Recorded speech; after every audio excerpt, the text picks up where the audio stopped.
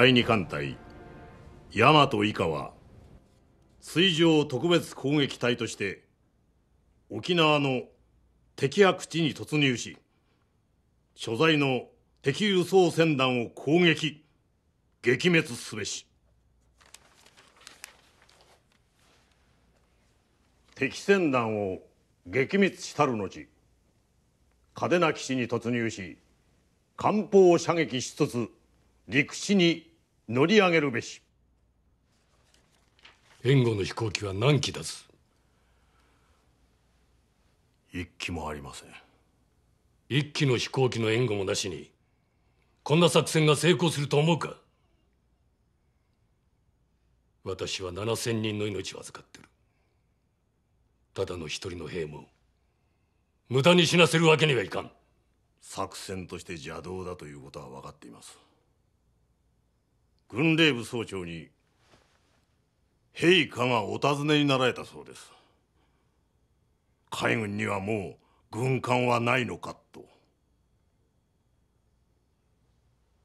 参謀長お尋ねしてよろしいでしょうか。連合艦隊最後の作戦と言われましたが豊田連合艦隊司令長官はどの船に座乗されますか？長官は九州の鹿屋の前線基地に移動されてそこで指揮を取られる。なぜ司令長官も参謀長も防空壕から出て特攻作戦の陣頭指揮を取ろうとされないのか？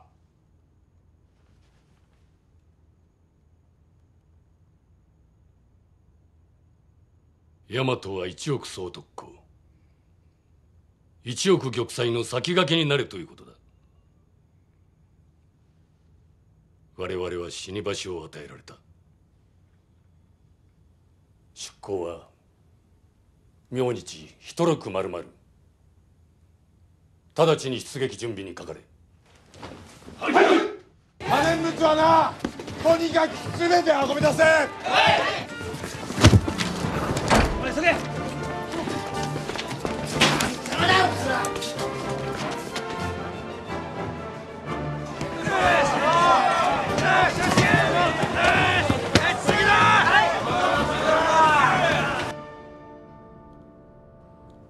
ここに特に海上特攻隊を編成し壮烈無比の突入作戦を命じたるは後期ある帝国海軍海上部隊の伝統を発揚するとともにその栄光を後世に伝えんとするに他ならず。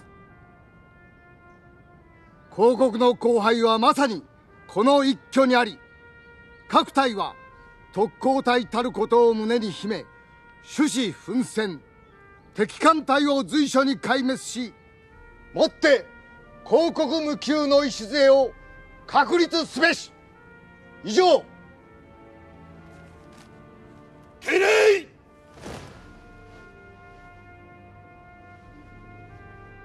あれ。出撃にあたり今さら改めて言うことはない。乗員各員が捨て身の攻撃精神を発揮し日本海軍最後の艦隊として全国民の予防に応えよう。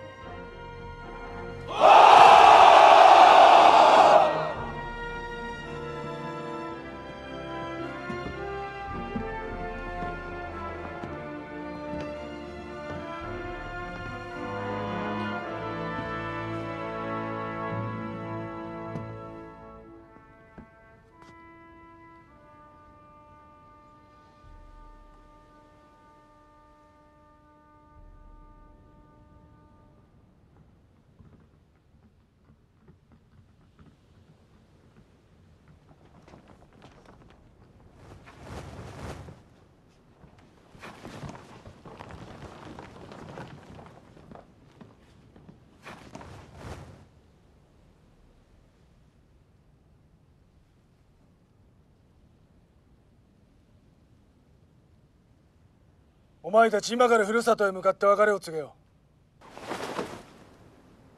う。思いの丈を込めて叫べ。泣いてもいい。それも死に方用意の一つだ。